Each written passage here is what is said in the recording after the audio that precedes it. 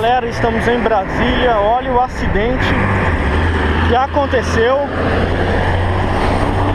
bem no eixo monumental